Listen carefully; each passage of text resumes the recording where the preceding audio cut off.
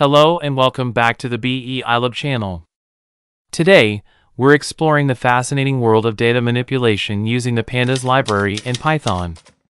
Pandas is an essential toolkit for data scientists, offering robust data structures and functions for efficient data analysis and manipulation.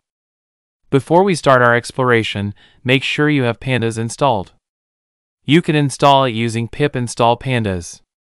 If you're using Anaconda with Jupyter Notebook, Pandas usually comes bundled, and there's no need for a separate installation.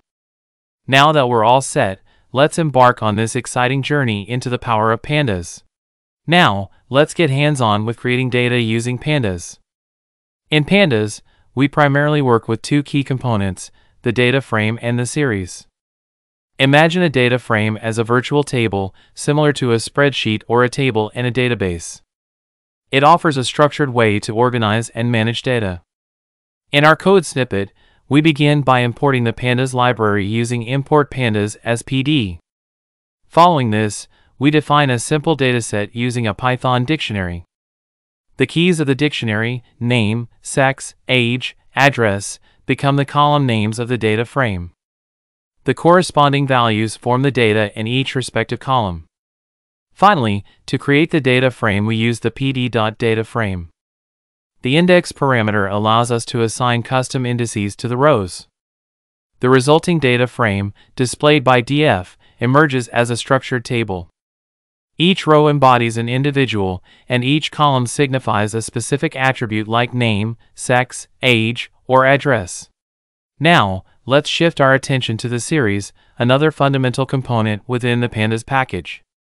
Think of a series as a single column in a data frame.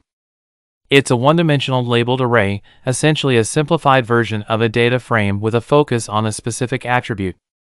In this code snippet, we define a series named ages with a list of ages. The name parameter allows us to label the series. Moving forward, let's explore the crucial skill of reading data into a pandas data frame. While manually creating data frames or series is beneficial, real-world scenarios often involve dealing with existing data. Data comes in various forms and formats, and one of the most common is the CSV file. In our code snippet, we are using the pd read underscore CSV function to read data from a CSV file and convert it into a data frame. Here's a simplified illustration. In this example, we use the pd read underscore CSV function, which is Panda's way of reading data from a CSV file. The argument passed to the function is the name of the CSV file containing our dataset. After importing data, it's essential to grasp its characteristics. Here are two useful commands. The data.shape reveals the dimensions of our data frame, providing the number of rows and columns. Moreover, the data.columns returns a list of column names in our data frame. Now, let's take a closer look at our data with some handy commands. Data.head shows the first five rows, giving us a quick overview. To see more details, we can use data.head10 for the first 10 rows. If we're curious about the end, the data.tail reveals the last five rows.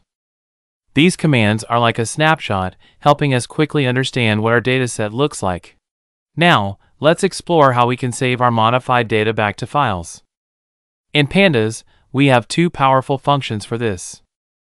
First, data.to underscore CSV saves our data frame as a CSV file named test.csv.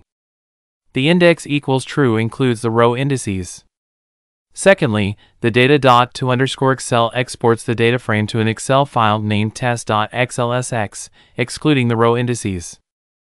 Thank you for being a part of this tutorial. If you have any questions, feel free to drop a comment. Remember to show your support by liking and subscribing to our channel.